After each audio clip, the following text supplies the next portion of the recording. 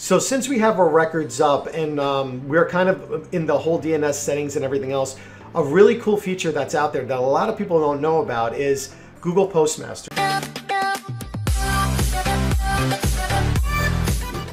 Now, Google Postmaster um, is a way that you can monitor how your emails are, are, are, doing, and it's a really great tool for you to consistently check. So all I did was um, Google Google Postmaster, uh, and what I did is I come over here and Google Postmaster Tools.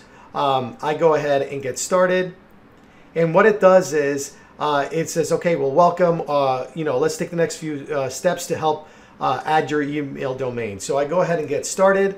And the domain I want to check, you can type it in, obviously. I just have been known to be an incredibly bad speller, uh, and I always want to make sure I don't have it. Now it tells you what to do. Add a text record so you can verify this. So I'm going to come over here. I'm going to copy, and I am going to go and create my record. So I'm going to add a record. I'm going to come over here. Whoop. That's not where you add it. Uh, I'm going to switch it over to a text record. Okay, and then I'm going to use the root domain here. So I'm going to hit the at symbol and I'm going to copy this verification. Again, like I mentioned before, just always remember to remove this, uh, the spaces before and sometimes after. I'm going to go ahead and hit save, and then I'm going to come back to Google Postmaster, and I'm going to go ahead and hit verify.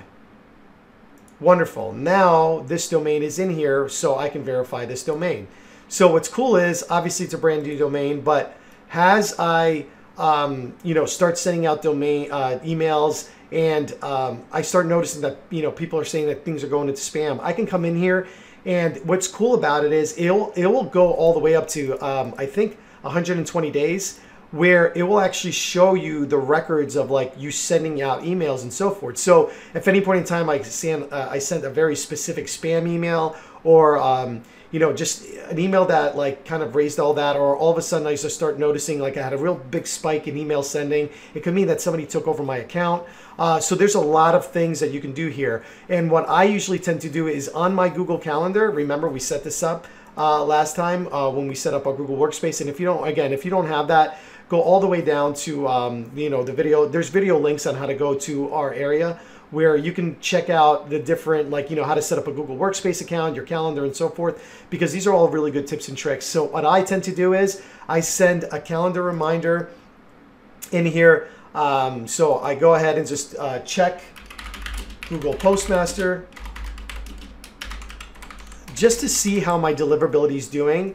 Uh, and what I do is um, I come in here, um, I do repeat it. I do it, let's say, um, monthly, uh, the last Friday, and then I just set it from 8.30 to 9.30, whatever your working time is. Obviously, you don't need that long. It's actually like 15 minutes, if that.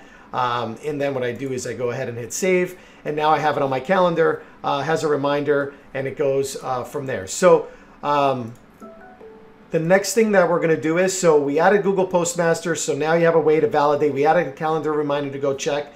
So let's keep going down the things that we're going to do to ensure that those uh, emails go into the inbox.